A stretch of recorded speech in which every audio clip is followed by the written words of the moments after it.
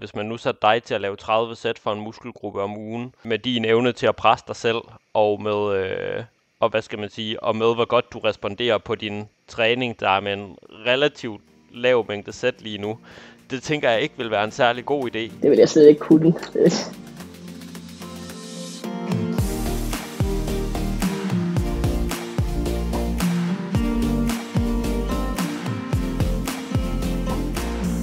Velkommen til træningsteamen.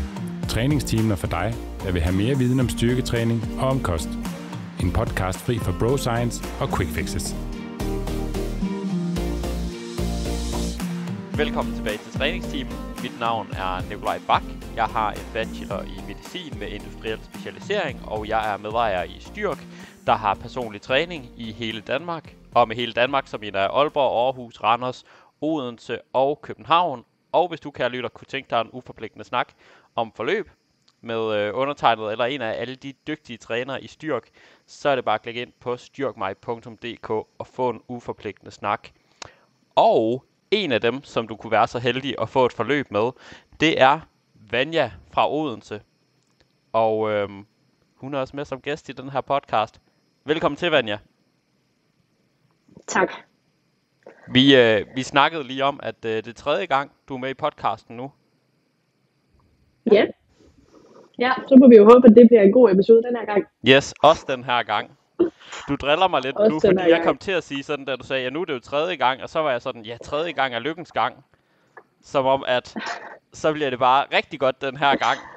Men det lyder sådan en lille Ja, smule fordi de andre gange jo har været øh, helt vildt dårlige. Ja, og det har de ikke, fordi det har været nogle rigtig populære episoder. Øh, og derfor så skulle vi selvfølgelig have dig på besøg i podcasten igen. Ja. Vanja, hvad drikker du? Jeg drikker øh, sportsbrus, Ja, den billige fra Netto. jeg Uden har en koffein. øh, Faxe Kondi her, uden sukker.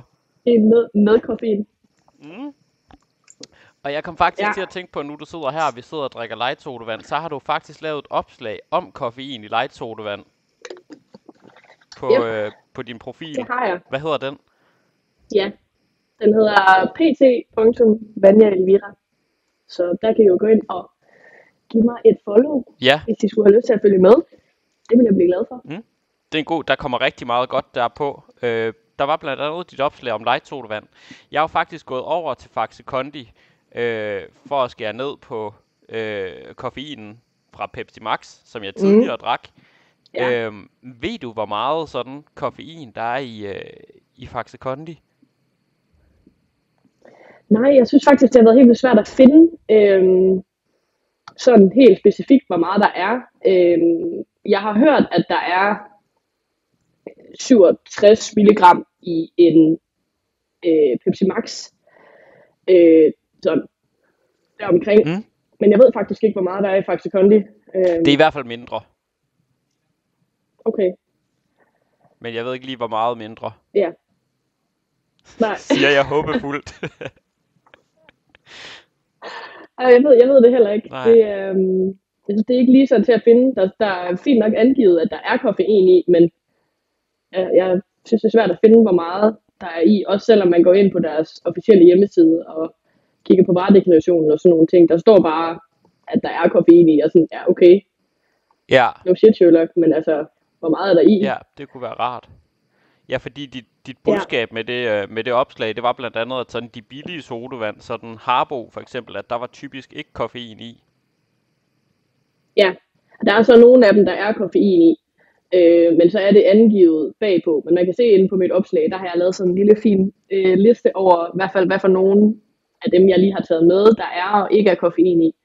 Øhm, og jeg erfarede lidt, at ofte cola, sodavanden, uanset om det var billigt eller om det var mærke, var øh, der er større tendens til at være koffein i, end sådan for eksempel øh, orange Ja. sodavand.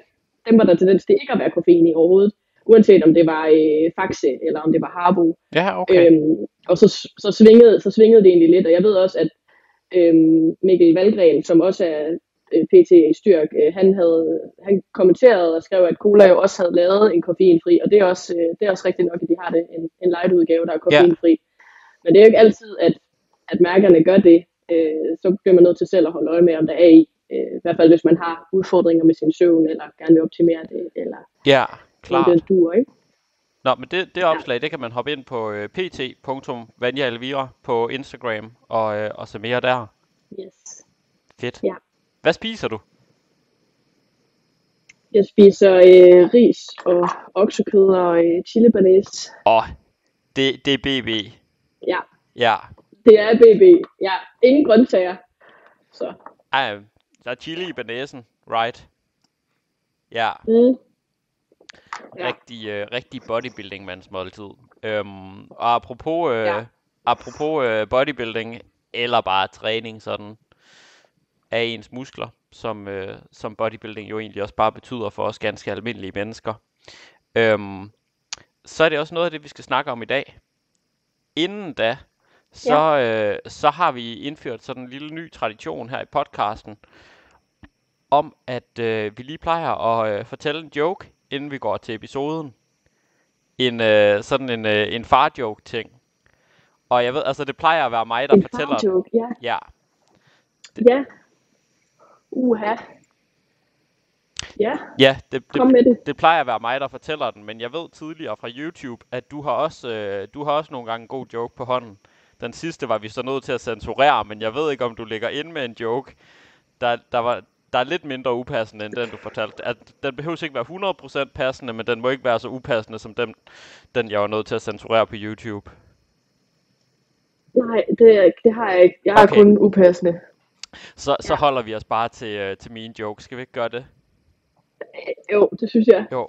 Det, det her det var en joke, jeg, jeg hørte i fjernsynet. Øhm, jeg mener, den var om irlænder oprindeligt. Det er sådan lidt, det vil jeg ikke sidde og, og lyde sådan småracistisk her i podcasten. Så jeg har ændret den til Aalborg Genser, fordi jeg er fra Aalborg. Så lyder det, øh, så må jeg godt. Øhm, yes. Ja. Så, øh, så der går en kone rundt derhjemme, øhm, og det banker på døren.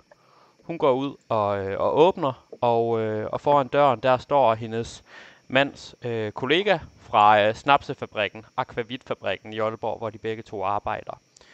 Øhm, hun kan se, Ja. han ser, han ser tydeligt rigtig ked ud af det, øh, og han siger, jeg er frygtelig ked af at skulle overbringe dig den her nyhed, øhm, men din mand, han er desværre død.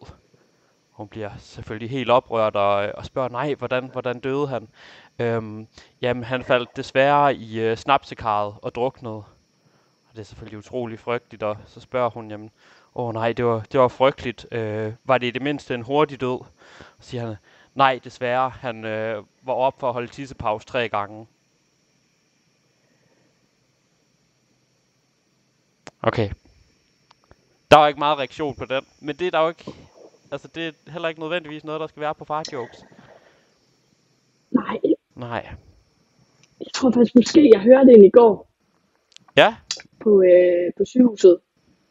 Men den var også upassende. Øh, ej, vil du komme med den nu? Den kan var klippes ud. et- Den her det var var også på sådan et grænsen. eller andet... Uh, nu skal Nu skal jeg lige, øh, nu skal jeg lige tænke mig om.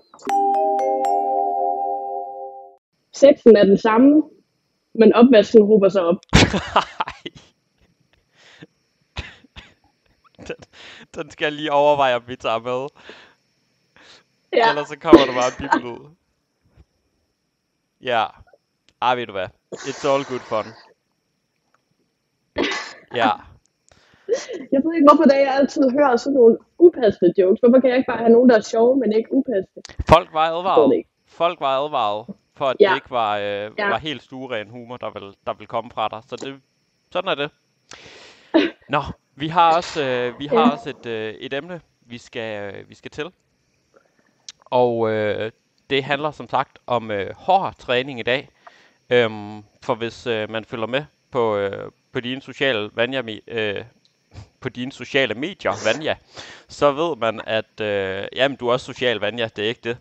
Øhm, så ved man, at du træner øh, rigtig, rigtig hårdt. Og øhm, Ja. Det kan man også se en lille reel på, øh, på Instagram om, hvor man kan se nogle gode løfteansigter. Og det er en helt pointe i sig selv, det der med, at når man træner, så kan man ikke se, øh, se afslappet og pæn ud i hovedet imens. Altså, så ser man presset ud.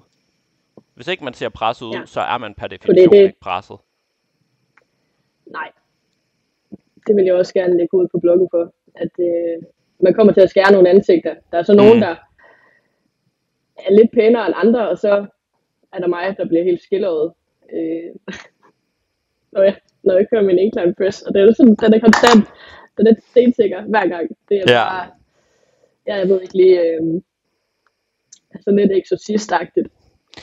ja, faktisk lidt. Men altså, det er jo fordi, at du Ja. er exceptionelt god til at, til at presse dig selv. Øhm, og i den her episode, der skal vi netop snakke om øh, øvelsesvalg i forhold til, så det bliver lidt mere avanceret, men sådan øvelsesvalg i forhold til, hvis man godt kan lide at træne hårdt, og hvis man gerne vil have virkelig sådan det optimale ud af sin træning, og gerne vil presse sig selv maksimalt, fordi hvis man Mm. træner, hvis man træner hårdt, og specielt hvis man træner meget samtidig, så er der nogle ting, man kan være opmærksom på i forhold til øh, øvelsesvalget, både lidt i forhold til, til skadesrisiko, men også bare det her begreb, som man sådan øhm, kalder stimulus to fatigue ratio, altså stimulus til træthedsratio, altså det her med at få maksimal stimulus øh, på musklerne for mindst mulig træthed øh, til hele systemet. Øhm, sådan at, mm. at, at man ligesom kan sige, jamen, det er rigtig godt at have ledbelastning og så videre under træning, øhm, fordi vi vil gerne have, at vores led bliver styrket. Øhm, men træner man meget og presser man sig selv meget, så kan der også være nogle hensyn i at, at sådan se på, okay, hvordan vælger jeg et eller andet, der er mest muligt fokuseret mod at skabe noget muskulær stimulus, for at få mine muskler til at gro og blive stærkere. Ja. Øhm, det her begreb stimulus to fatigue ratio, øh, eller stimulus til træthedsratio, øh, det er vist noget, der oprindeligt stammer fra Mike Israetel fra Renaissance Periodization.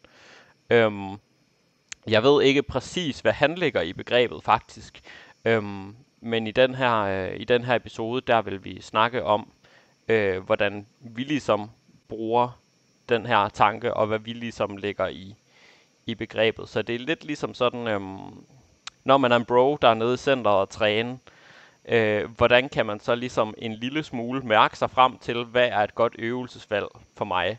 Så det her det er sådan en, en, en god praktisk snak i øh, grænselandet mellem øh, ren videnskab og ren broness, og hvordan man ligesom kan bruge lidt af hvert, når man er ude, øh, ude in the trenches og, øh, og giver den gas nede i træningscenteret. Ja. Er, det ikke, øh, er det ikke der, vi skal hen? Jo, det synes jeg. Det synes jeg. Vi har også, øh, vi har også fået lidt spørgsmål til det her omkring øvelsesvalg, når man træner hårdt, og, øh, og dem tænker jeg, at vi kan, vi kan tage lidt løbende. Øhm, men vi har lavet Mm. nogle talking points, som man sådan kan, øh, kan kigge på sit øvelsesvalg eller sin fornemmelse, når man træner ud fra, når man gerne vil, øh, når man gerne vil, vil vælge øvelser, som man ligesom kan, kan presse citronen Mm. rigtig meget i, og samtidig på en, øh, Ja. på en, en, en langtidsholdbar måde, hvor man ikke har savet sig selv over efter, efter to uger, eller egentlig begynder at have mere ondt i, øh, i ledene end i musklerne. Mm. Øhm, så det kan være, at vi skal starte med at gå de her talking points igennem. Det, Ja. øh, det første øh, punkt, vi har, det er, øh, det er, er musklen, du træner, flaskehalsen. Hvad, øh, hvad, hvad tænker vi med det? Lad os sige, du kører en presøvelse. Om det så, er det så i forhold til, så bliver tricepsen begrænsningen i din Mm. presøvelse, eller bliver det rent faktisk brystet? Er det, mere, er det sådan, du mener det? Ja, ja, det var lige præcis i den tanke sådan, at, Ja. at Okay, den muskel, vi gerne Ja. vil have mest i fokus, er det egentlig også den, der bliver træt først. ja, okay. Øhm, ja, der tænker jeg, at det kan være fint at gå ind og kigge på, for eksempel hvis man nu skal køre en, øh, en presøvelse, en, øh, hvis du nu kører en, det ved ikke, en incline Smith pres øh, til brystet, øhm, er det så rent faktisk sit bryst, der bliver først træt, eller er det din triceps for eksempel? Så der kan man jo godt gå ind og kigge på, jamen holder jeg, for eksempel hvis jeg nu holder smallere, så vil der komme større moment til tricepsen, eller til albuen, som så vil gøre, at tricepsen vil arbejde mere. Så der kan man for eksempel gå ind og kigge på, jamen, skal jeg holde lidt bredere for eksempel, fordi så vil der ikke være lige så stort moment til albuen, og dermed vil brystet komme til at få en større mekanisk fordel, så det vil altså også være den, der rent faktisk arbejder. Øhm, ja, fordi vi ved ligesom også, at jamen, hvis en muskel den har størst forudsætning til at arbejde, jamen så er det også den, der arbejder.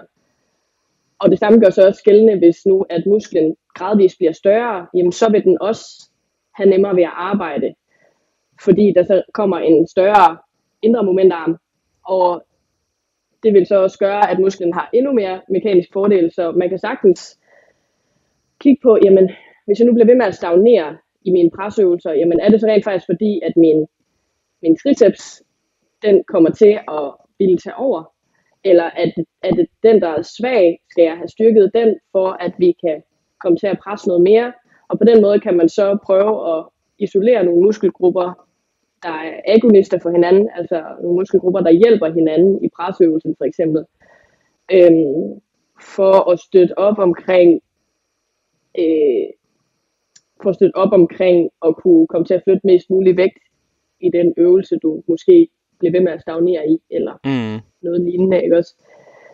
Øhm, ja.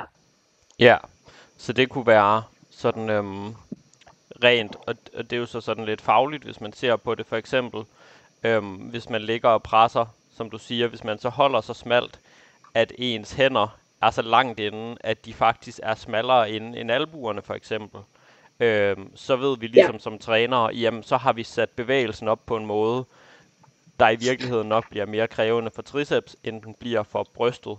Så det kan man sige, det er sådan rent Ja. Der er rent fagligt også nogle ting øh, omkring biomekanik og løftet og sådan noget, man kan se på. Og det er jo også sådan noget, du, du nørder rigtig meget på din profil, og også sådan med, med klienter, hvis det er noget, de gerne vil optimere på.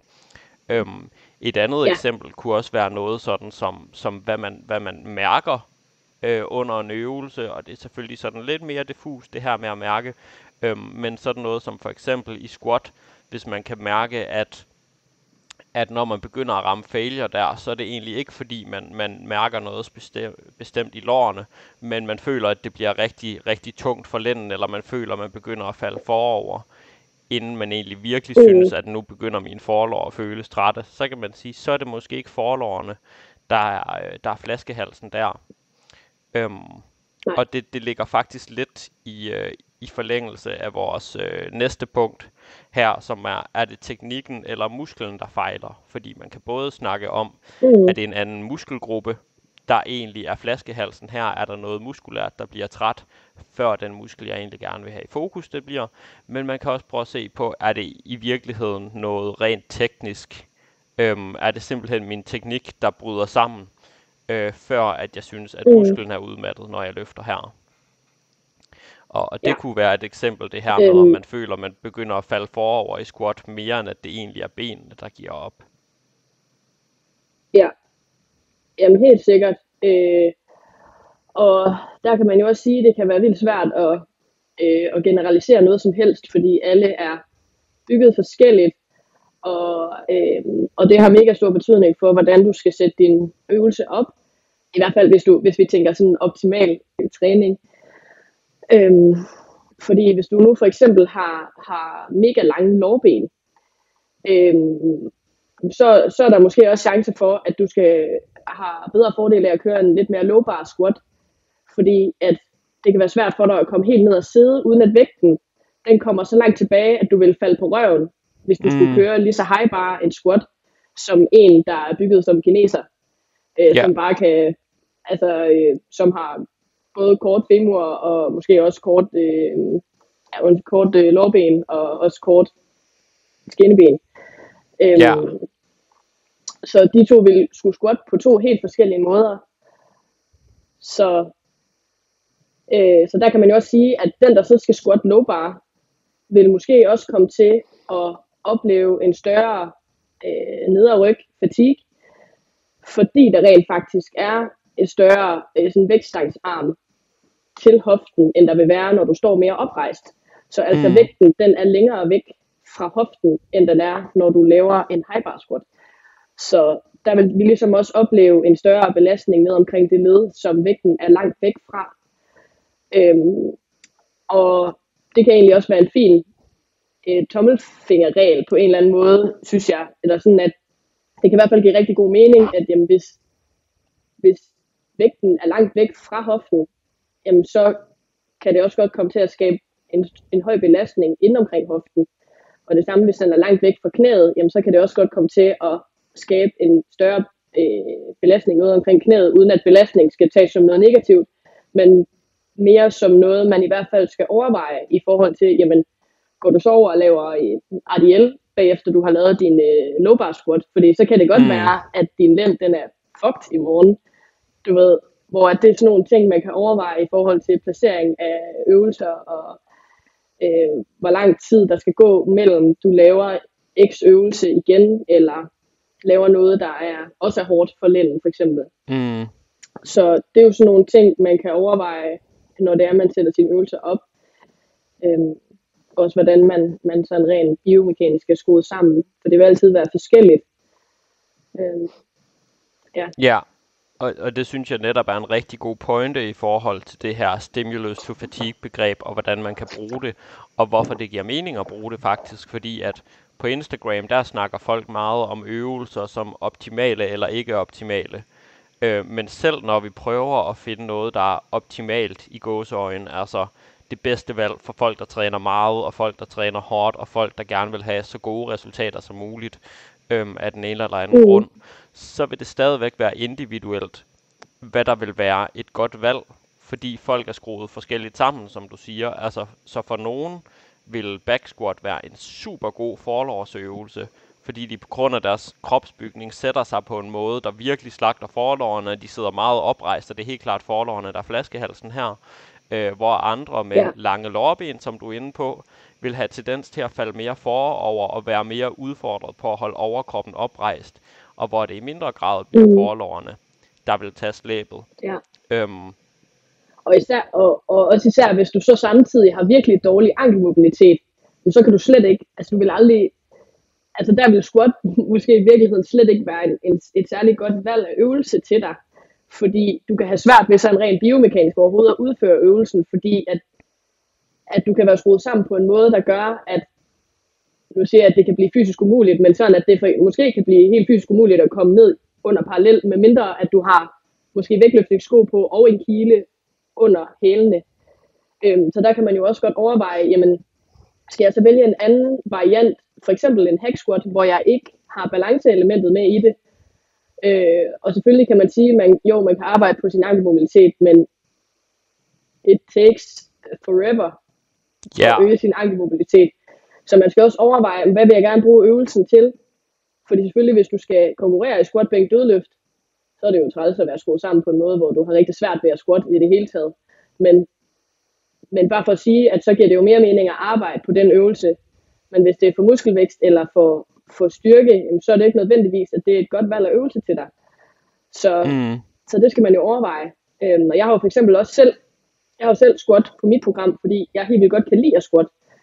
Så derfor har jeg det på.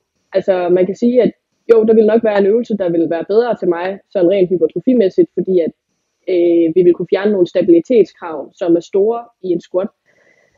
Øh, I en fri squat i hvert fald. Øhm, og, og så vil jeg jo nok kunne, kunne fyre mere øh, til musklerne. Men det er også en ting, der skal med i det. Sådan, er det en øvelse, du har lyst til at lave? Er det det, der gør, at du kommer op og træne? Og så er det måske en god ting, men ja, man skal overveje, hvad man skal bruge øvelsen til, i hvert fald. Ja, ja. Øhm, og jeg får faktisk lyst til at tage forskud på et punkt senere på, øh, på listen, lige om lidt, i forhold til det, du sagde der. Øhm, en lille hurtig ting, øhm, det er også fordi, nu bruger man ofte squat som eksempel på det her, der er meget påvirket af kropsbygning. Hvor jeg vil sige, i forhold mm. til at finde øvelser, der generelt øh, sørge for, at det er den muskel, man gerne vil træne, som er i fokus, og at det ikke er en anden muskel, eller at det ikke er teknikken.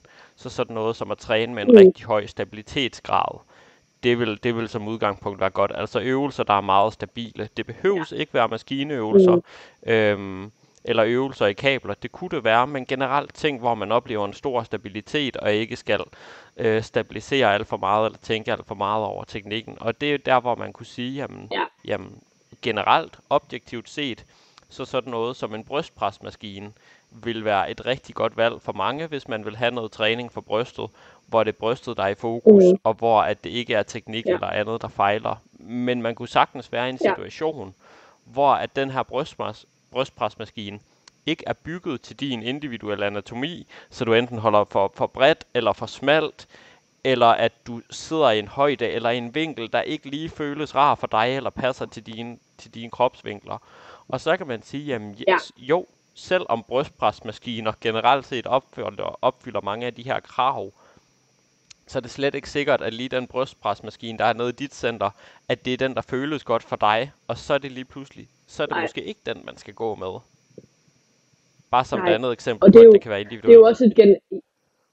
helt bestemt, og, og, og, og det er jo også det, der ofte i hvert fald er, er problemet. Nu træner jeg egentlig et center med mange maskiner, men der er også rigtig mange maskiner, hvor man sådan tænker, hvis ikke jeg sætter mig anderledes, end det er meningen på den her maskine, så, så, er, det, så er det skrald. Altså, du ved, så, så man skal også lige... øhm, og det er jo også sådan noget, hvis man nu overhovedet ikke er vant til at træne før, det er jo sådan noget, der kan være svært at mærke, om føles det lige som, som det skal, eller hvad man siger. Fordi mm. jeg har ikke noget referencepunkt til, øh, om noget føles rigtigt eller forkert, hvis man kan sige det på den måde, men øh, eller om noget føles som, som det er hensigten, fordi man ved måske ikke engang, hvor skal jeg mærke det henne? Altså fordi man ikke ved, hvor musklerne rigtig sidder og sådan noget. Jo, jo, man ved godt ryggen herom måske, og man ved måske godt, at man skal trække noget og presse noget, men, men om maskinen den så lige er lavet godt til mig, det kan måske være svært at vide. Øhm, og der kan det også være godt at få en personlig træner, som lige kan hjælpe med det. men, ja.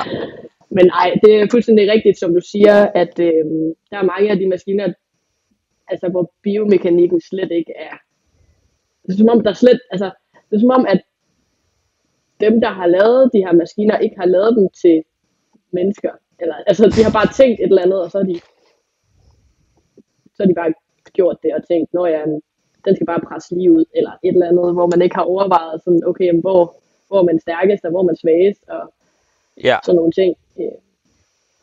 Ja, for eksempel har ja. vi en, vi har en incline press nede i, øhm, altså en skrå bænkpres, maskine nede i vores center, øh, som også bliver fucking hård i, op i toppen. Og, og det er jo der, vi også sådan vil være svagest, fordi at der er musklerne mest sammentrukket. Øh, så så der, der kan det være svært øh, nogle gange. Hvad vil jeg egentlig lige sige med det her? Øhm, ja, der kunne det måske være fedt, at, hvis man kunne lave en maskine, hvor den så var hårdere, i det forlængede stadie, hvor at man er lidt mm. stærkere, sådan at styrkeprofilen den passede lidt bedre, øh, sådan at det var lidt mere aftagende. Men ja, yeah. sådan er der mange maskiner, der er, og det er jo ikke fordi, at man så skal lade være med at lave den, men det er jo i hvert fald bare noget, man, man kan have en mente, når det er, at man laver, laver programmer. Øh. Ja, og, og også bare husk på, at bare fordi at en maskine føles super godt for en person, så er det måske ikke lige fordi, at den her øvelse vil føles super godt for dig, på samme måde som man kan sige om frivægtsøvelser. Altså det gælder også for maskiner. Øhm, så, så der tænker jeg egentlig, at vi kommer omkring et, et andet talking point, som var det her, jamen føles det godt? Øhm, og jeg ved godt, for folk, der ikke har, har, har trænet øh, så lang tid, er det også svært at vide, hvordan skal en bevægelse føles. Øhm, men som mm. sagt, det her er også en, en øvelse for de lidt mere avancerede. Altså, den bedste træning, det er den, der rent faktisk bliver lavet. Øhm, men hvis man træner meget, hvis man gerne vil have optimale resultater, hvis man, hvis man er lidt af en gym rat, så har man nok også en god idé om, okay, hvordan føles det, når mine brystmuskler arbejder, for eksempel. Altså, det, det behøver ja. man ikke være professionel bodybuilder for at vide. Øhm, Nej. Det er i hvert fald et og, punkt blandt man mange, man sige, kan have med i de her overvejelser. Helt sikkert. Øh, og man kan også sige, at sådan en ting som, øh, for eksempel, øh, hvis jeg skal tage et eksempel fra mig selv, så øh, kan jeg godt nogle gange have problemer, hvis jeg skal køre noget triceps over hovedet. Øh, det er ikke særlig mange øvelser, jeg, jeg synes er særlig nice at køre her, fordi det føles som om, der er noget, mm. der bliver sådan en pinchet, eller kommer i klemme ind i min skulder. Øh, hvor at, at der måske er nogle andre, de kan kraftigt køre altså alle vinkler over hovedet, og det føles bare jeg mega elsker nice. Det. Så ja, Ja, lige præcis, ikke også? Så, så der, der er der jo forskel på, at jamen, så laver jeg noget andet. øh, fordi at, at det er bare ikke fedt, fordi at så bliver det ligesom det, der bliver den begrænsende faktor.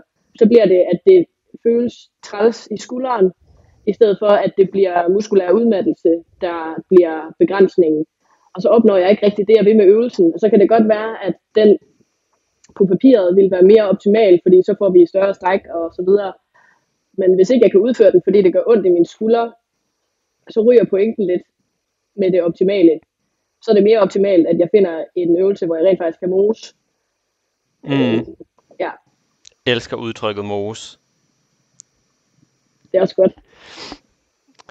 Øhm, en, øh, et andet punkt, det var egentlig det, som, øh, som jeg synes, vi skulle tage, tage lidt på, på forskud. Det er det her, øh, er du motiveret for øvelsen? Fordi et er, som du siger, de rent biomekaniske forhold og sådan noget, være optimalt på papiret, hvis man har set en masse videoer omkring øvelsesvalg og biomekanik og alt sådan noget øh, muskelnørderi.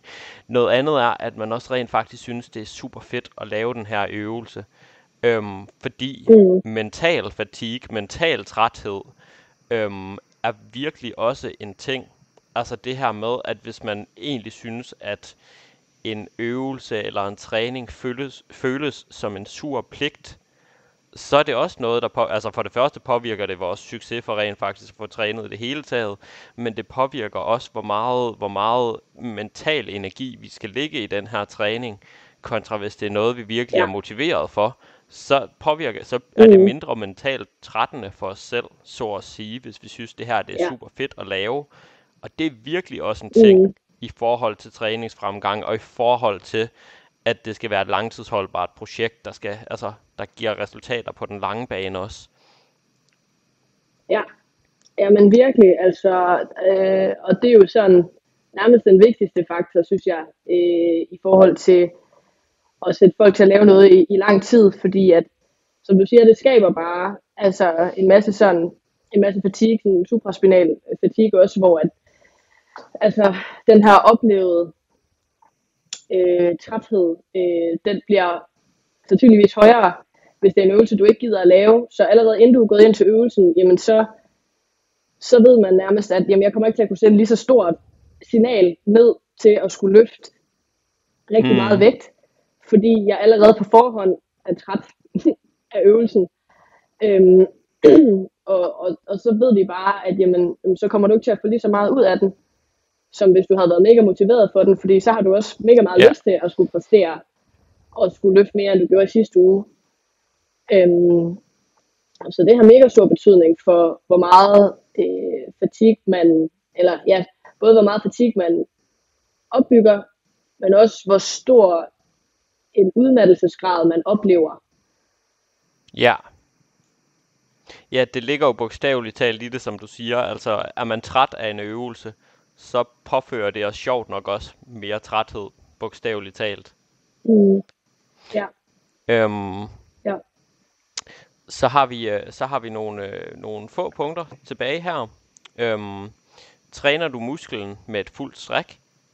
Og, øh, og det lidt ud fra den her idé om, at øh, der er kommet en del forskning, der viser, at træning i den forlængede position, altså hvor musklen er mest strukket ud, øhm, er mindst lige så vigtig, og nok også vigtigere end træning i den forkortede position. Øhm, og det betyder ikke, at man, man aldrig kan have øvelser, der har fokus på den forkortede position, som hip thrust for eksempel.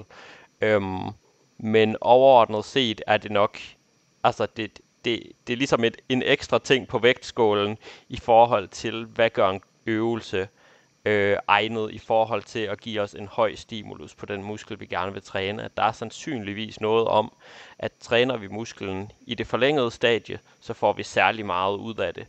Og det er ikke fordi, der er en kæmpe forskel, det er måske 10% eller whatever, men der er sandsynligvis noget om, at det er en, det er en ret god idé at have nogle bevægelser, hvor vi får strukket musklen helt under belastning.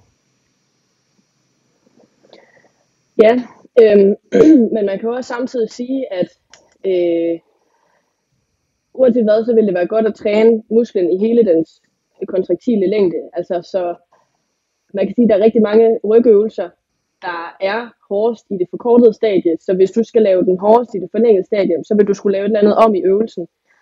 Øhm, men det der også er med det, det er, at jamen, træning med forlængede muskellængder ophober også mere fatigue.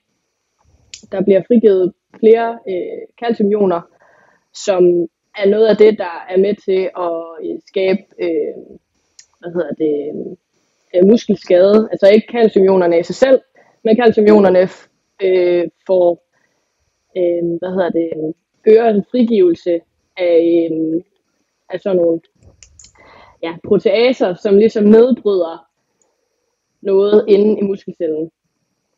Øh, og det gør også, at man sandsynligvis bliver mere øm, og man, øh, man får mindre mulighed for, at det kemiske signal, man sender ned, det rent faktisk bliver til en muskelkontraktion. Så man skal også overveje, at, at det kan godt være, at det er godt at træne ved forlængede muskellængder, men det skaber mm. også mere fatigue, det skaber mere ømhed, så du kan ikke kun træne ved forlængede muskellængder, sandsynligvis, fordi du vil opleve alt for stor fatigue, hvis det var det eneste, du lavede. Øhm, mm. Og øh, ja, altså så, så det er virkelig også værd at overveje, øhm, at, at alting ikke bare skal være forlænget. Plus at, altså snakker vi om det her strækmedieret øh, hypertrofi og sådan nogle ting, øhm, hvor at det hovedsageligt er nybegyndere, der oplever det, og at, at efter 6 uger ser man typisk, at det ligesom begynder at plateau en lille smule, det her strækmedieret hypotrofi. Øhm, og mm. man skal mm. ligesom blive ved med at lave ting ved forlængede muskellængder for at opretholde den strækmedieret hypotrofi, man har øh, opnået. Øhm, så, så ja, det er en mega god idé at blive ved med at lave det, hvis du har oplevet, eller hvis du har opnået adaptationer i forbindelse med øh, forlænget muskelarbejde. Øhm, og så kan man sige, hvis man så øger sin mobilitet, for eksempel i skulderen, eller, øhm, eller et eller andet, så vil man have mulighed for at opleve øh, yderligere strækmedieret hypotrofi, men folk, der er meget trænet i forvejen, vil sandsynligvis ikke opleve lige så meget strækmedieret hypotrofi, som folk, der er utrænet. Øhm, mm. Og det gør selvfølgelig gældende for, altså for muskelvækst i det hele taget, at det, det, øh, det går jo sådan gradvist langsommere og langsommere, fordi det bliver sværere og sværere at opnå nye adaptationer.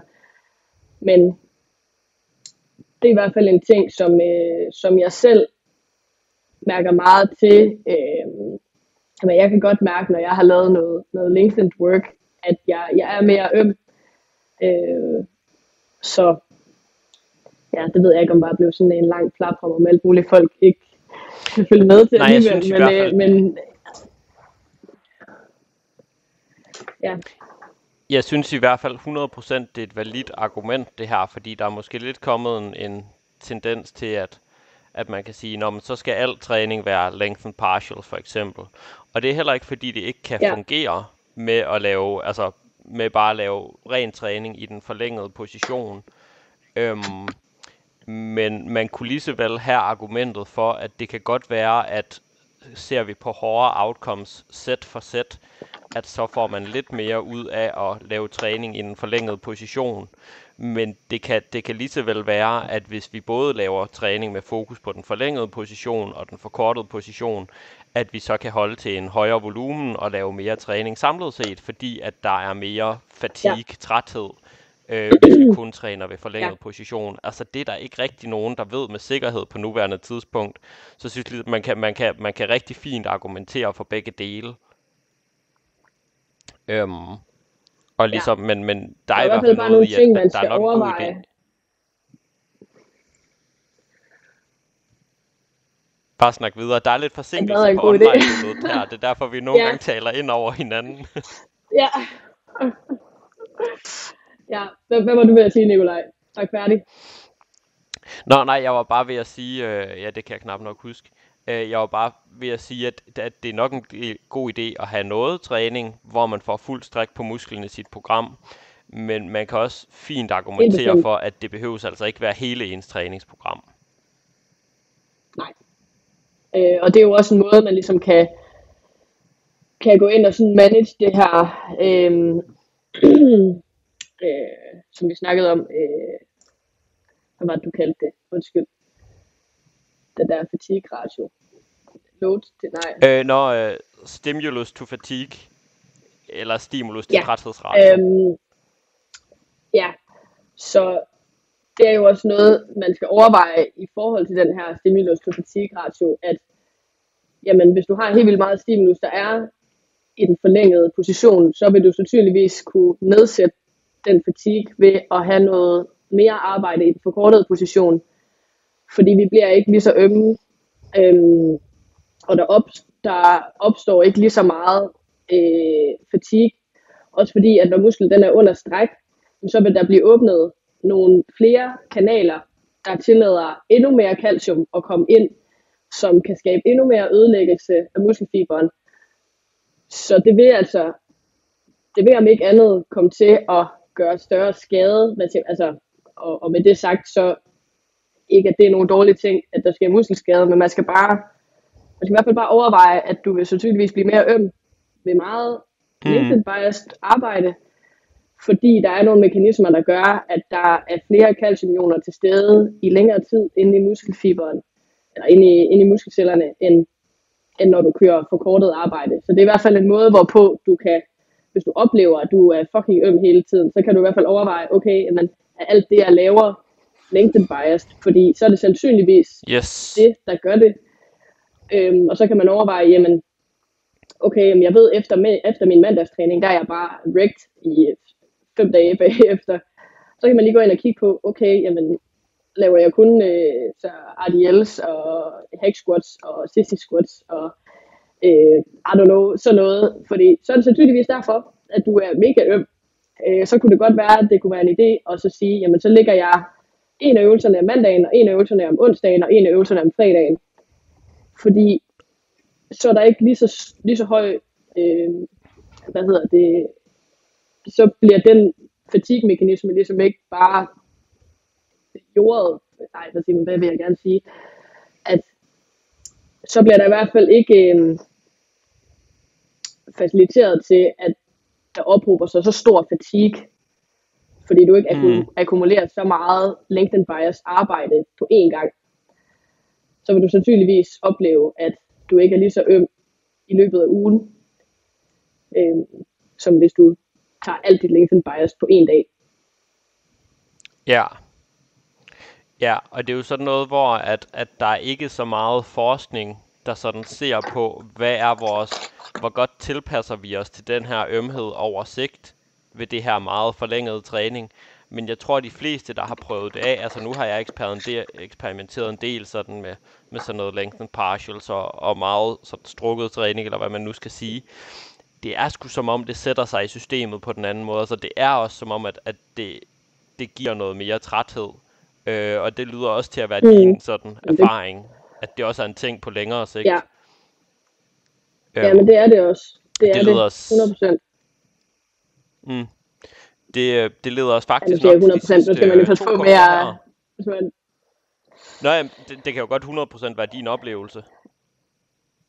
ja. ja øhm, men, men forskningen tyder også på, at det er sådan, det forholder sig i forhold til, øh, at der er større calciumion-relateret fatigue, når vi træner ved forlænget muskellængder. Mm, Så det er i hvert fald en ting, man kan overveje. ja. Ja, min pointe er også bare, at, at, det er mere sådan uklart, hvor godt vi, apropos repeated bout effekter, altså noget, hvor godt kan vi tilpasse os til det over tid. Det er i hvert fald ikke sådan super godt undersøgt. Mm, Øhm, okay, men jeg det, synes, det ved jeg ikke så meget om. Men jeg synes... Nej, men, men, men det giver rigtig god mening ud fra de mekanismer, og ud fra hvad folk rapporterer og alt sådan noget, så det, øh, så, så det giver god mening, specielt som du siger, hvis man oplever, er jeg, er jeg total wrecked, og bliver jeg ved med at være det, efter at jeg har implementeret de her øh, lengthen partials i mit program, så kan det godt være, at man laver lidt for meget, lidt for hurtigt. He, altså helt enig. Mm, Øhm, og jeg synes faktisk, det leder os, øh, leder os fint over til de sidste to punkter her, man sådan kan være opmærksom på. Øhm, det ene er, øh, får du ondt i musklen efter træning kontra ledet, øhm, og bliver du træt i musklen kontra kroppen efter træning. Øhm, og det er måske, jeg ved ikke helt om, om, om folk sådan forstår den måde at, at sætte det op på, men man kan godt, altså, nu har vi snakket i en del episoder i podcasten om, at, at muskelømhed efter træning er på ingen måde alt, og det er ikke sådan det, der siger, Nå, nu har din muskel fået noget ud af træning, eller den har ikke fået noget ud af træning. Men det er stadigvæk en indikator for, at musklen ligesom er blevet stimuleret. Altså hvis man aldrig nogensinde bliver øm i en mm. muskel efter træning overhovedet, så er der nok noget om, at den muskel godt kan tåle lidt mere arbejde og, stimul- og, og ligesom respondere godt på det. Kontra oplever vi ingen ømhed i den muskel, vi gerne vil ramme, kontra vi får rigtig ømme led, så kan man godt argumentere for, okay, det her øvelsesvalg, eller måden vi laver øvelsen på, eller doseringen af den, er nok ikke helt der, hvor vi har lyst til at være i forhold til, hvad vi gerne vil få ud af træningen. Øhm. Mm. Og, der, og, og til det vil jeg også sige sådan, i forhold til øhm, sådan ting som alignment, i forhold til, øhm, lad os nu for eksempel bare tage en leg extension, eller en leg curl, eller et eller andet, hvor der vil vi helt vil gerne have øh, maskinens omdrejningspunkt ud for knæledets omdrejningspunkt. Fordi så arbejder vi ligesom i samme linje i forhold til, jamen, der hvor knæet drejer, det er også der maskinen drejer hvor at der kan man godt i hvert fald over tid komme til at skabe noget unødvendigt, øh, hvad siger man, øh, unødvendig sådan øh, led øh, belastning, hvis ikke man i hvert fald bare har en lille tanke på, at okay, det kunne måske være fint, at omdrejningspunktet lige var ud fra hinanden, og også hvis man, nu har vi en maskine til, øh, til triceps og biceps nede ved os, hvor at jamen tænk lige på, at albuen, den må egentlig gerne være der, hvor omdrejningspunktet på maskinen er også. Øhm, også både fordi, at det også er der, vi altså arbejder bedst, men, men også i et øh, sundt led øje med. Øhm, mm. ja. Du tænker sådan, hvis, hvis man nu sidder på en leg extension for eksempel, og har, har knæene vinklet meget mm. ud af, på trods af, at, at, ja. at øh, fodpladen, man ligesom trykker på, den bliver bevæget lige frem og tilbage, eller hvis man står og kører biceps med en vægtstang, og egentlig føler, at ens albuer bliver låst ind langs siden i en position, som egentlig ikke føles rar at løfte fra? Øh, nej, altså jeg tænker mere på, at øh, jeg tænker mere i forhold til, at øh, ja, hvordan skal jeg lige forklare det? Så, øh, at jo, lad os nu sige, at du sidder øh, helt vildt langt fremme i en leg extension. Så der hvor at øh, maskinen, der hvor selve... Mm. Oh my god, hvordan skal jeg forklare det? Ja, så hvis, hvis, øh, hvis ledet er placeret langt foran der, hvor sædet egentlig slutter for eksempel, og der hvor omdrejningspunktet for, for, for maskinen, maskinen er. nu er. Ja. Ja, Øhm, der kan det være fint, hvis man prøver sådan at aligne det, sådan at det passer med, at knæets omdrejningspunkt og maskinens omdrejningspunkt er det samme sted. Sådan at vi ligesom ikke har øh, nogle øh, kræfter, der sådan går i, i mod, altså, i sådan en diagonal retning på en eller anden måde, som man kan sige sådan, eller at det, øh, ja, for det kan i hvert fald være med til at skabe lidt mindre stress inden omkring ledet. Mm det håber jeg, folk de sådan kan, øh, det er selvfølgelig altid nemmere at se på en YouTube-video, men dem har vi også masser af, så det er bare at hoppe ind på, øh, på YouTube-kanalen Styrk. Um, mm. et, et andet eksempel på det her med sådan at mærke træthed øh, i kroppen kontra i musklen, øhm, det er det her, hvis man virkelig føler sig sådan øh, kropsligt og mentalt savet over på en eller anden måde. Altså jeg synes, et, et godt eksempel på en øvelse, der måske ikke har den bedste sådan stimulus til fatigue øh, ratio, øh, simpelthen fordi den træner så mange muskler af gangen, uden virkelig at have noget i fokus. Altså det er dødløft, hvor at man kan godt køre et, et dødløftpas, uden virkelig sådan at kunne mærke, okay, det, det er den her muskel, der ligesom har været i fokus. Øhm, men man bare føler sig sådan helt savet over og, og, og træt Øhm, så det mere er sådan en generel følelse af træthed, og det må man gerne have efter træning, ja. det er ikke det, jeg siger, men hvis man mere føler, at en, at en øvelse virkelig giver en generel følelse af træthed, mere end at vi træner et eller andet specifikt, øhm, så som har man lavet biceps curl eller sådan noget, ja, det kan godt være, at man er træt dagen efter, fordi man har trænet, men så tænker jeg også, så har man stadigvæk en ret god idé om det er ens biceps, man har trænet, hvor sådan en øvelse, der er så generelt som dødløft, der kan det blive en lille smule diffust. Ja. Og det er ikke fordi, der er noget galt med dødløft. Det er lidt mere bare træning af den færdighed, der er at dødløfte, end det for eksempel mm. er at bygge et par kæmpe store baller, hvis det er det, man gerne vil. Øh, hvor rumænsk dødløft vil være mere biased mod lige præcis det. Ja.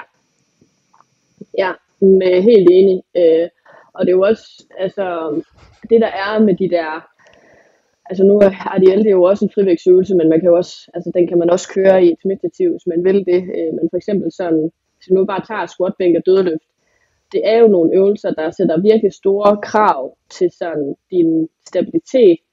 Altså dødløft er måske den, der kræver mindst stabilitet, fordi at du sådan mm. ikke taber noget ned over dig selv. Du ved, du kan bare slippe det. Men, øhm, men alligevel, det kræver meget teknisk færdighed, som du også bruger energi på. Plus at dødløft er også en øvelse, hvor du kan flytte rigtig meget vægt. Så, så det kan også, som du siger, give helt vildt meget mental fatigue. Øhm, fordi at du godt ved, okay, nu skal jeg ind og løfte tæt på det, jeg maksimalt overhovedet kan løfte i noget, altså i noget som helst andet. Så, så det kan allerede forventningen om, at det bliver hårdt, kan også være med til at skabe fatigue. Så der er bare rigtig mange ting, hvor at man i hvert fald skal overveje, jamen vil jeg bare helt vildt gerne være god til at dødløfte, fordi så skal du selvfølgelig dødløfte og vil jeg helt vildt gerne være god til at dødløfte tungt, jamen, så skal du dødløfte tungt, fordi så bliver du god til at dødløfte tungt. Men, men så er det jo mm. sandsynligvis også noget, du har motivation for. Øhm, så som du siger, der skal man i hvert fald overveje, hvad får jeg ud af den kontra, hvor træt bliver jeg af at lave den, både sådan centralt, men også, altså, ja, alt andet. Ja. Ja, lige præcis. Og øhm, Ja, det var så en, øh, en masse punkter, øh, som man ligesom kan bruge i den her sammenhæng. Og jeg synes faktisk egentlig, det, det overordnet set er sådan et ret godt eksempel på, at det her med, og altså tit så snakker man enten sådan, øh, hardcore outcome science, hvor man ligesom har kigget på, okay, øh, hvor meget muskelvækst har den her træningsprotokol, eller den her øvelse givet kontra en anden træningsprotokol eller øvelse, eller også så sådan meget teoretisk biomekaniske forhold. Øhm, og et sted i grænselandet mellem de to, synes jeg også det at forholde sig til sin individuelle oplevelse under træning, den hører til. Altså nogle gange så bliver der også set på mm. det som lidt for meget sådan en bro science ting, som overhovedet ikke kan bruge noget, fordi vi har det her studie, der siger det og det.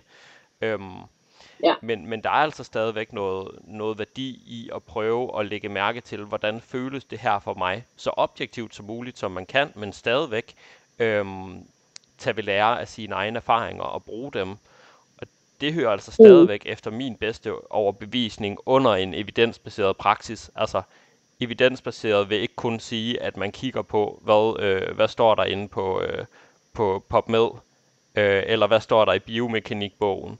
Der er også noget med, hvordan øh, implementerer man det så efter praktiske forhold ja. og efter præferencer. Mm det er faktisk der. Men det er jo også en, det er også en del af det, i hvert fald i, i fysioterapi. Nu læser jeg jo til fysioterapeut, hvor at mm. evidensbaseret praksis er jo ikke bare, kan du læse en med artikel, så kan du lave evidensbaseret praksis. Mm. Det er også erfaring. Altså der, det er også en del af den evidensbaserede praksis. Øhm, så, så helt, som du siger, er fuldstændig enig. Øh, og der er vi jo måske også lidt igen tilbage til det her med, jamen, hvad er du motiveret for at lave? Fordi så kan det godt være, at der vil være noget, der i bogen vil være mere optimalt. Men hvis du synes, det er øh, mega fedt at lave den her bicepsøvelse eller et eller andet, så synes jeg, at vi skal blive ved med den, fordi så er der rimelig stor sandsynlighed for, at du vil blive ved med at progredere i den i lang tid. Fordi du gerne vil lave den, også selvom at hvis jeg helt 100% skulle bestemme over dit træningsprogram, ville jeg sætte noget andet ind. Men vi er bare ikke maskiner, så man bliver nødt til at huske også, hvad der er af præferencer, og om det føles godt, og de her ting, som du siger. Øh, fordi det er ikke alting. Hvad, hvad, altså, ja, hvad der er mest optimalt.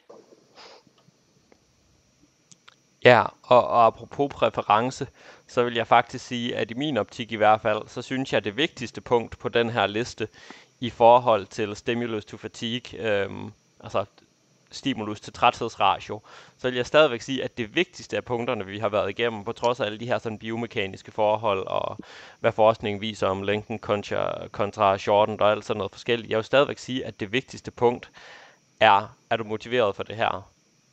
Altså fordi det betyder rigtig, rigtig meget. Ja, ja. det betyder sindssygt meget. Altså, øh, helt sikkert. Og jeg er helt enig også. Nu har vi, øh, hold kæft mand, vi har været i gang i næsten en time. Jeg tænkte, det her det blev en relativt kort episode, men man skal aldrig tage, altså man skal aldrig undervurdere, når man snakker om noget praktisk, hvor mange nuancer der rent faktisk er at hive frem. Nej. Øhm, og det er jo selvfølgelig ikke en dårlig ting.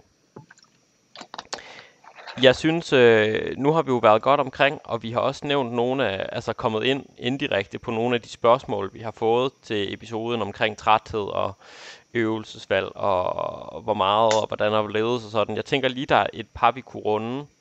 Øhm, et af spørgsmålene, vi har fået, er, hvornår skal man deloade? Ja. Øhm, og altså der, der kan man jo sige, at det igen er det individuelt, men nogle af de ting, som jeg selv øh, anvender, det er sådan noget med, jamen, begynder jeg at sove dårligere, end jeg plejer? Øh, begynder jeg at opleve gener i min led? Øh, er jeg generelt mindre motiveret for at skulle op og træne? Begynder jeg at synes, at oh, det er mere en pligt, end det er noget, jeg har lyst til? Øh, ikke med det sagt, at man ikke godt kan tage op og træne, selvom man ikke har lyst til det, men hvis det fortsætter over nogle uger, så kan det godt være værd at overveje, jamen, skal jeg måske lige tage noget, hvor jeg lige, lige bakker lidt af. Øhm, og ja, sådan nogle ting oplever du generelt mere træthed. Øh, sådan en træthed, du ikke kan sove dig fra, som vi vil beskrive som fatigue. Øhm, og har du sværere ved at restituere, oplever du, at den samme mængde træning lige pludselig gør dig mere øm over en periode. Øh, sådan nogle ting kan være virkelig gode at holde øje med, eller overveje i hvert fald, øh, hvis du lige pludselig lægger mærke til det, så er det værd at tænke over, jamen, okay, måske jeg lige skal tænke lidt mere over de næste, den næste uge, halvanden. Er det her en generel ting, eller er det bare lidt, fordi jeg har sovet dårligt i nat, at det er?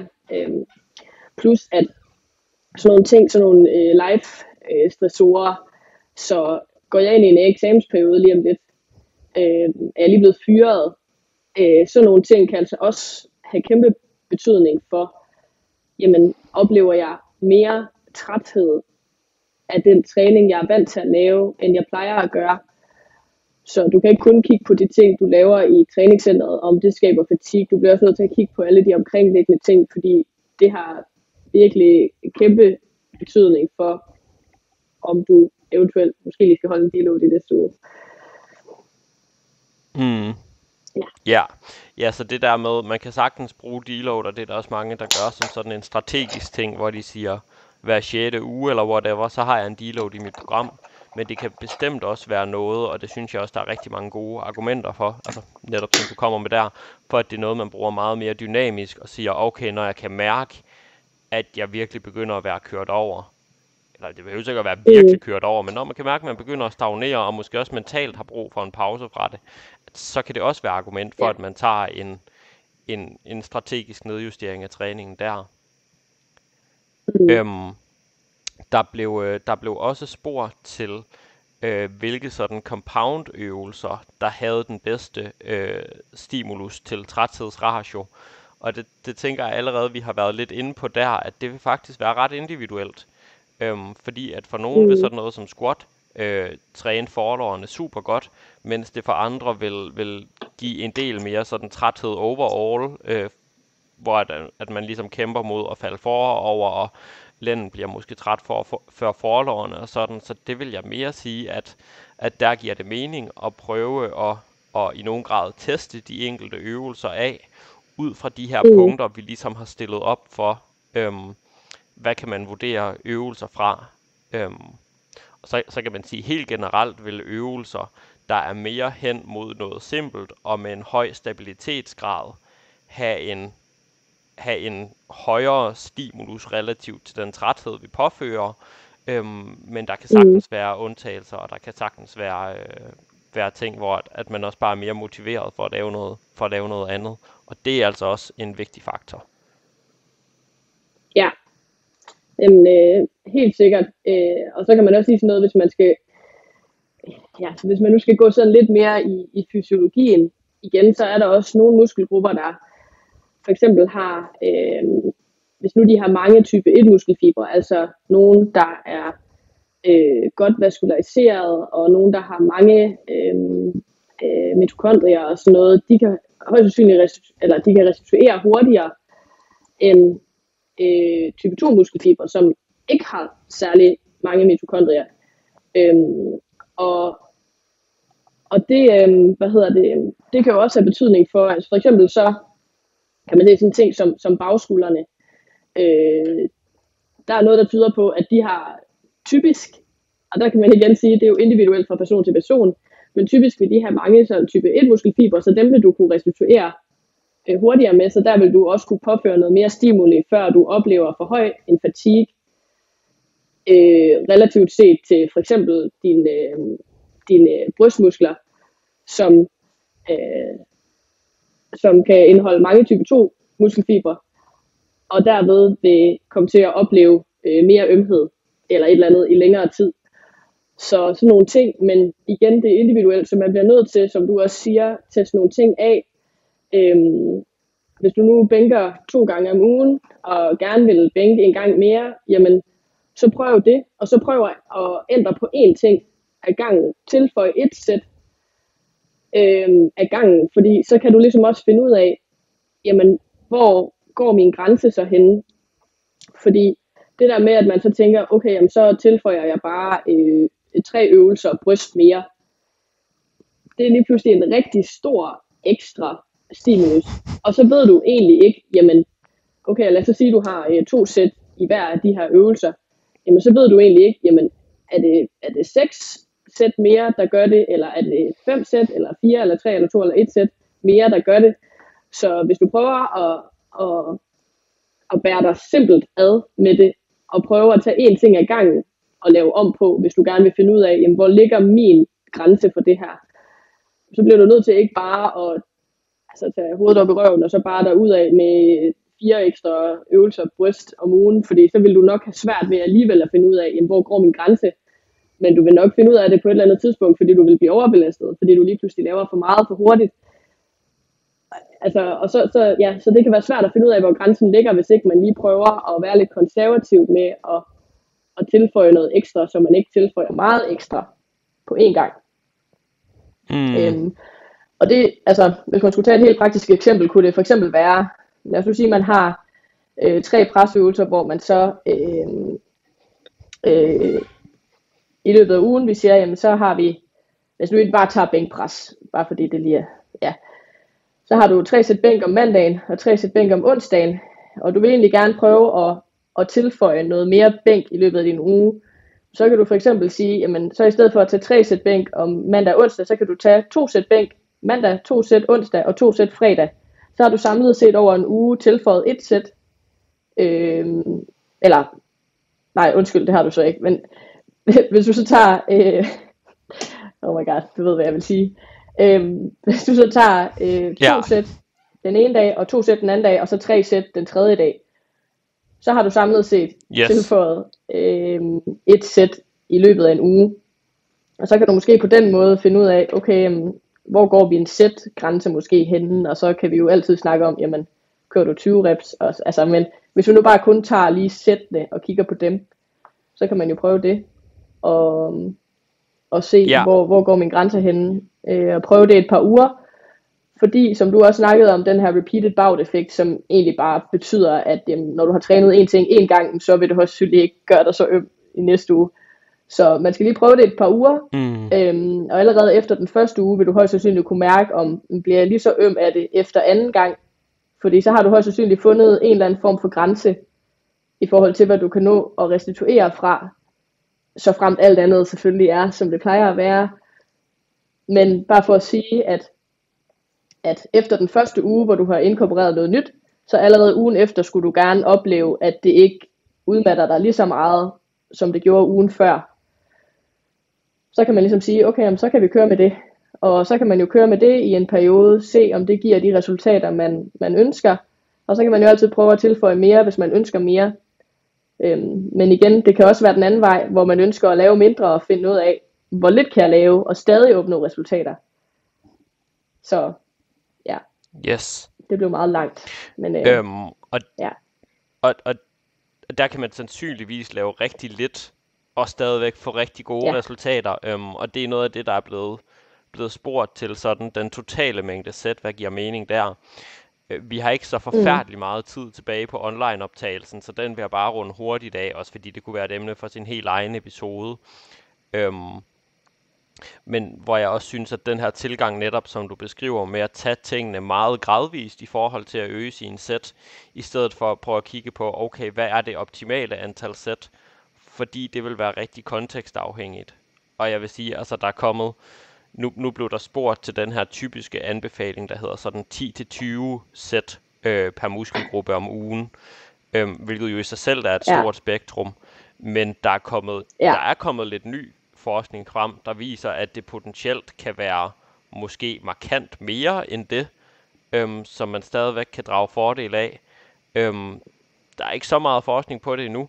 Omvendt, så kan man også se, og det er noget, vores øh, træner Alexander Dreyer har skrevet meget om, at man får rigt, faktisk langt størstedelen af effekten får man ret tidligt øh, ved, mm. altså, ved en relativt lav sætmængde. Altså han havde kigget sådan noget på, at hvis man nu skulle fordoble den muskelvækst, man fik ved 3 sæt til en muskelgruppe, så skulle man lave 18 sæt for at få den dobbelte effekt. Altså 6 gange så meget for at få det dobbelte ud af, af 3 sæt, så det sådan begynder vi at komme over 20 sæt om ugen, øhm, afhængig af om man overhovedet sætter sin uge op til at restituere øh, fra det, altså 20 sæt per mm. muskelgruppe om ugen. Så tæller hvert ekstra sæt altså meget, meget lidt per sæt kontra den første mængde sæt, vi laver. Det er jo også der, man skal huske den mentale træthed i det. Altså selv hvis man potentielt kunne drage fordel af at have 30 sæt til en muskelgruppe om ugen, er det overhovedet noget, man mentalt kan overskue, og som kan være bæredygtigt i det lange mm. løb. Og har du tid til det? Altså også fordi, at altså, jeg vil have det personligt. Jeg er, sådan, jeg er meget sådan low volume, ja. øh, kind of girl. Øh, og øh, og der er det jo sådan en ting, jeg i hvert fald anvender, hvis jeg nu stagnerer, så kan jeg tilføje et sæt mere, for at se, jamen kan jeg så give mm. den ekstra stimuli. Øhm, hvor at, at der er jo ikke, ja, det er kun min squat, hvor jeg kører tre sæt, tror jeg, ellers så kører jeg nærmest to sæt i alting. Og det er ikke fordi, jeg siger, at alle skal det, fordi at det kan også være forskelligt i forhold til, jamen, hvor advanced er du inden for træning, fordi hvor hårdt kan du presse dig? Jeg, er sådan, jeg har øvet mig i lang tid i at presse mig rigtig meget, Øhm, mm. så, så det er også lidt det, det kommer an på.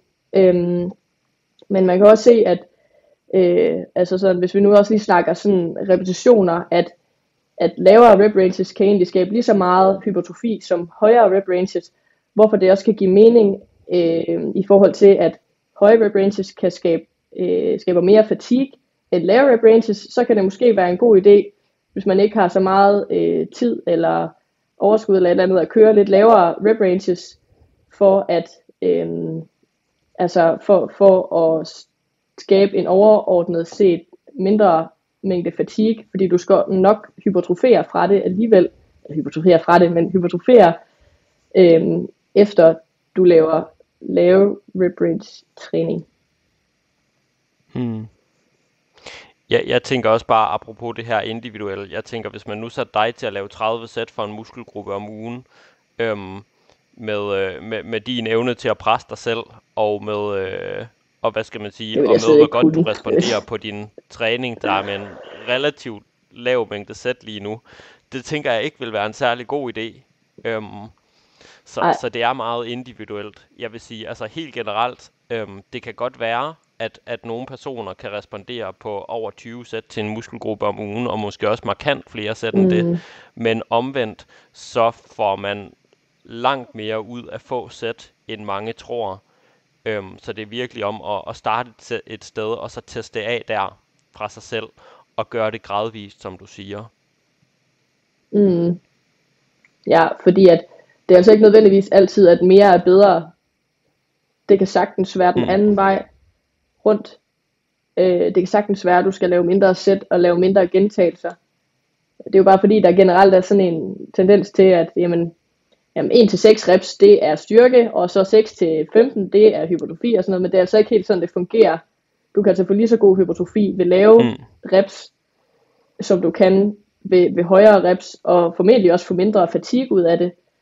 Så hvis du er mere trænet, og rent faktisk kan træne tæt på failure ved lave reps set, så vil det højst sandsynligt give rigtig god mening for dig. Hvor at hvis du ikke er så trænet, så kunne det give, øhm, altså hvis du er nybegynder, så kunne det give mere mening måske at køre en højere, højere antal gentagelser for rent faktisk at øve dig i øvelsen og øve dig i bevægemønstret. Men hvis du nailer bevægemønstret, så vil jeg i hvert fald gå imod de lavere repsæt, end jeg vil gå mod de højere, fordi jeg ved, at det akkumulerer mindre fatigue, hvilket vi jo altid vil prøve at holde så lav som muligt i forhold til hvilken fase man nu også lige kører i og sådan nogle ting, men, men altså den vil man jo altid, det er jo ikke fordi jeg nogensinde laver et program og tænker, ja lad os se hvor meget fatigue vi kan ophobe i den her fase. Altså selvfølgelig er det mm. fint at finde, hvor er grænsen henne, men det er jo ikke formålet med, der er jo altid et andet formål med, med træningsperioden, at man så måske ved, okay, jamen den her grundtræningsperiode, okay, men der vil du måske komme til at opleve mere fatigue, fordi vi kører i lidt højere rep ranges, end når vi lige er omkring dit peak, hvor du måske skal til konkurrence eller et eller andet og lave singles i squat bænk dødløft. Øhm, fordi der giver det mening, at det bliver mere specifikt. Så ja. Ja, folk, folk er rigtig glade for sådan træningsmæssigt, og hvis man nu kunne se tingene i kasser, som altså det her det er det rigtige antal reps, det her er det rigtige antal sæt, det her det er de rigtige øvelser, hvor at det i meget høj grad vil være individuelt, og hvor vi netop har lavet den her episode, og de her guidelines som en måde at selv prøve at teste lidt nærmere noget, hvad er rigtigt øh, for mig, hvad fungerer for mm. mig. Øhm, så man ligesom kan, kan prøve at, ja, at finde ud af, lidt mere individuelt, hvordan kan jeg prøve at tilpasse det her til mig, og så som du siger, så kan man altid øge tingene gradvist der, i forhold til om man vil have mere hård træning ind i programmet. Mm. Det, har, øh, det har som altid været en øh, kæmpe fornøjelse at have dig med i, øh, i podcasten, Vanja. Hvis, øhm, ja, det har været dejligt at være her hvis igen. man kunne tænke sig at... Sorry, jeg talte hen over dig. Der kom lige noget forsinkelse i billedet der. Øhm, hvis man kunne tænke okay. sig at se, uh, se mere af nogle, uh, af nogle fede videoer af dig, der, uh, der presser dig selv til træning, og læse mere om forskellige uh, træningsrelaterede nørderier, uh, hvor kan man så gøre det, og hvordan får man fat på dig, hvis man godt kunne tænke sig at få et forløb med dig i Odense? Ja, øh, jamen, vi kan lige starte med min uh, Instagram, SoMe. Øh, jamen, jeg lægger meget fagligt og indhold op på min øh, PT-profil, som hedder pt.vanjaelvira. Øh, min egen træning poster jeg mest på min private profil, øh, Vanja Elvira hedder den bare. Og øh, ja, og så ellers så, man kan altid skrive til mig på Instagram, og man kan også altid kontakte mig igennem Styrks hjemmeside, hvor man kan finde afdeling Odense, og så læse lidt mere om, hvad jeg kan tilbyde. Og man er også altid velkommen til at skrive til mig, og så kan man få en uforpligtet samtale omkring, hvad, hvad man kunne tænke sig. Så det skal man være meget velkommen til. Yes. Og din mail, det er vanja Ja. Og det er bare Anja med V foran. Ja, lige præcis. Lige præcis. Fedt. Tak for, uh, tak for snakken, Vanja. Selv tak. Og tak fordi I lyttede med. Det var så afslutningen på denne episode. Hvis du gerne vil læse mere om træningsteamen og det enkelte afsnit, så kan du klikke ind på træningsteamen.dk. Og hvis du har spørgsmål til den enkelte episode, eller har forslag til emner, vi kan tage op i en fremtidig episode, så har vi en Facebook-gruppe, som du kan tilmelde dig. Facebook-gruppen hedder Træningsteamen, og herinde er der mange dygtige og kompetente mennesker, som sidder klar til at hjælpe dig. Hvis du kunne lide den her episode og gerne vil høre flere episoder, så er måden du bedst hjælper os med det på, er ved at give os en god anmeldelse i din podcast-app. Det tager ikke mange sekunder for dig, men det gør en kæmpe forskel for os og i udbredelsen af træningstimen. Det er jo netop for dig og for jer, at vi laver træningstimen. For vi brænder virkelig for at hjælpe så mange som muligt med deres kost- og træningsvaner. Og hvis du vil læse mere om Styrk og hvad vi ellers foretager os, så kan du klikke ind på styrkmig.dk eller følge os på Instagram under navnet styrk_dk. Nu er der vist ikke andet end at sige tak, fordi du lyttede med. Vi høres ved.